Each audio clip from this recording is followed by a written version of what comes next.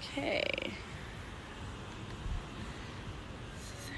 To laundry at Sea Gypsy.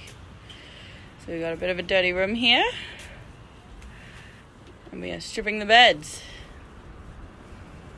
So then all the mattresses get flipped, they can't get dirty. And they've all got protectors on them as well. Barry gets very strong doing this job.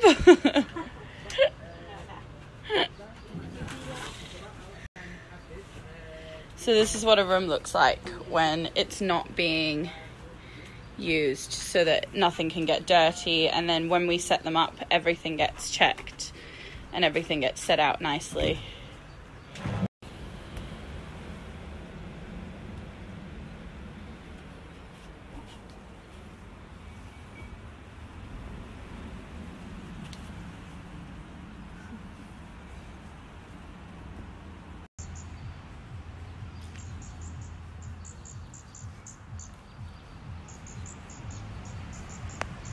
It's being done a little bit differently today because it's such a massive haul of laundry. We usually do it in the laundry, but basically what happens is we count everything and then we bag them up, folded, and then this is preparing them to go on the boat. the laundry's ready, getting the boat in.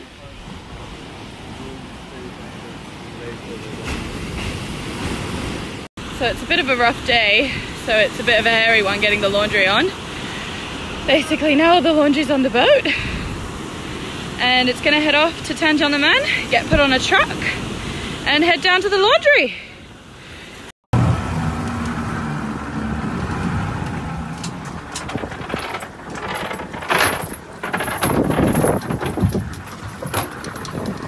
All right, so we're just driving into number four. This is the warehouse where we keep actually all our the key's not working. Oh no, Nick. it's fine. but this, yes, this is when we get the gate open and we get in. This is our warehouse, and this is where we keep all our trucks, all our transport, all our drivers work here. But it's also where we take the laundry. Oh, there we go. The gate's opening. Yay! Um, it's where we bring all the laundry after, before, and after the laundry house and it's where we do the quality check and we recount it before it goes back up to the island. So it goes into this big truck here and it goes back up to the island in that. Okay, so this is number four. This is the industrial oven where we bake all our baked goods for breakfast and afternoon tea. This is where we keep all our baby stuff for the cars, and it's where we keep all the cars for the transport. And this is where we keep all our goods to bring up for supplies at the resort, plus our frozen things. And this is where the laundry comes as well. So these are our two guys. So what happens is the laundry gets put here and it gets counted and quality checked. And then it goes back in this great big truck here.